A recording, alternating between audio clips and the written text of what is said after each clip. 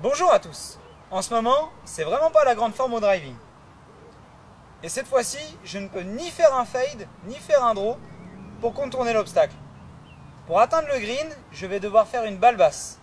Comment on fait? Je vous montre. Pour commencer, le choix du club est vraiment très important. Pour ce coup, il vous faut absolument un club fermé.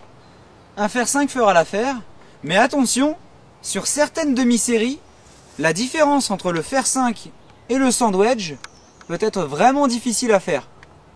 Imaginez la boulette. Ah.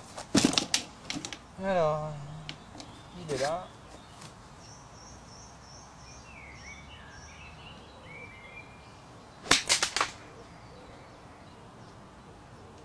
Oh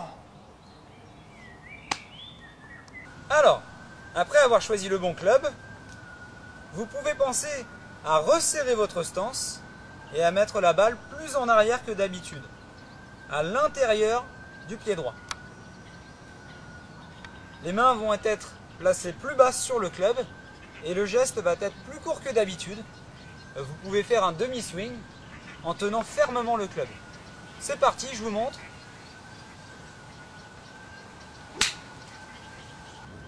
Attention, ce coup est peut-être difficile, mais ne précipitez pas votre mouvement. Restez calme dans l'exécution du geste.